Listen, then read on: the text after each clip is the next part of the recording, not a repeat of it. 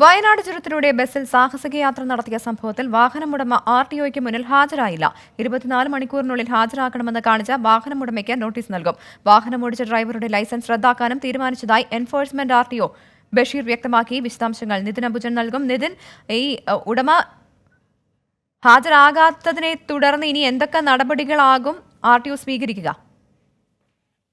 പ്രവിത ഇന്ന് പന്ത്രണ്ട് മണിയോടുകൂടി ഹാജരാകണമെന്നായിരുന്നു ആർ ടി ഒ നിർദ്ദേശിച്ചത്. എന്നാൽ ഇന്ന് പന്ത്രണ്ട് മണിവരെ അദ്ദേഹം ഹാജരാവാത്തതിനെ തുടർന്നാണ് ഇരുപത്തിനാല് മണിക്കൂറിനകം ഹാജരാകണമെന്നാവശ്യപ്പെട്ട് നോട്ടീസ് പതിക്കുക.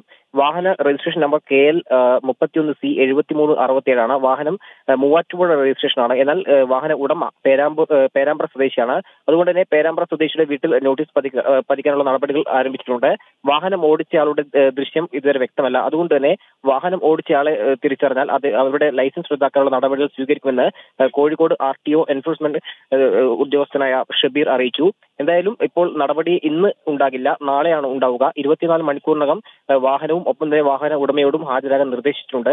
കഴിഞ്ഞ ദിവസമായിരുന്നു അത്തരമൊരു അപകടകരമായ തരത്തിൽ വാഹനം ഓടിക്കുന്ന ദൃശ്യം സമൂഹ മാധ്യമങ്ങളിൽ പ്രചരിപ്പിച്ചത്. ഇതിന്റെ അടിസ്ഥാനത്തിലാണ് ഇന്നലെ ഇന്ന് ഹാജരാകണമെന്ന് ആവശ്യപ്പെട്ടത്.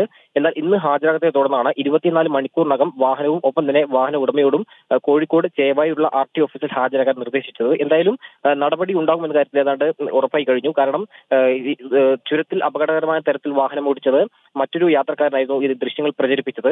തുടർന്ന് ഇപ്പോൾ ലൈസൻസ് റദ്ദാക്കാനുള്ള നടപടികളാണ് ഇപ്പോൾ സ്വീകരിച്ചിരിക്കുന്നത്. എന്തായാലും നാളെ ഇതുമായി ബന്ധപ്പെട്ട കൂടുതൽ നടപടികൾ ഉണ്ടാകുമെന്നാണ് ഷബീർ അറിയിച്ചിരിക്കുന്നത്. ശരി വയനാട് ചുരത്തിലൂടെ ബസ്സിൽ സാഹസിക യാത്ര നടത്തിയ സംഭവത്തിൽ വാഹനമുടമയ്ക്ക് ആർ ടി ഒയുടെ മുന്നിൽ ഹാജരാകാത്തതിനെ തുടർന്ന് ഇരുപത്തിനാല് മണിക്കൂറിനുള്ളിൽ ഹാജരാക്കണമെന്ന് കാണിച്ച് നോട്ടീസ് നൽകും. വാഹനമോടിച്ച ഡ്രൈവറുടെ ലൈസൻസ് റദ്ദാക്കാനും തീരുമാനിച്ചതായി ആർ അറിയിച്ചു.